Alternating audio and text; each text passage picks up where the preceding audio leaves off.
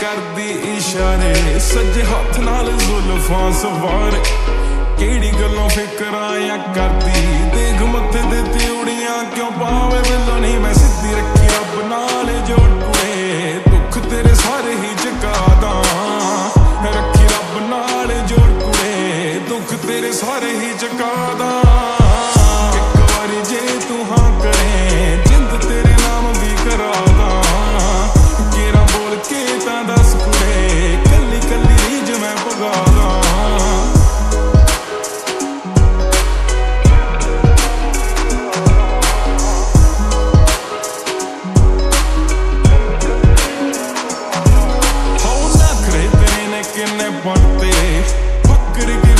ਸਾਰੇ ਜੱਗ ਤੇ ਜਾਣ ਕੇ ਗਲੀ ਦੇ ਵਿੱਚੋਂ ਲੰਘਦੀ।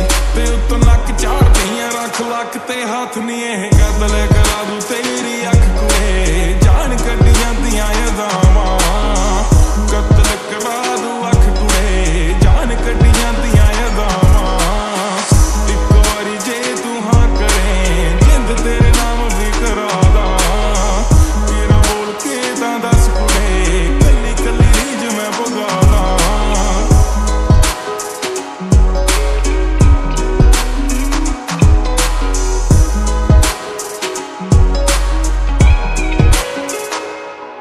ਹਾਉ ਦੇਖੀ ਨਾ ਦੇਖੀ ਨਾ ਤੇਰੀ ਕਰਜੀ ਮੇਰੇ ਤੇ ਜ਼ਹੇਲੀ ਤੇਰੀ ਮਰਦੀ।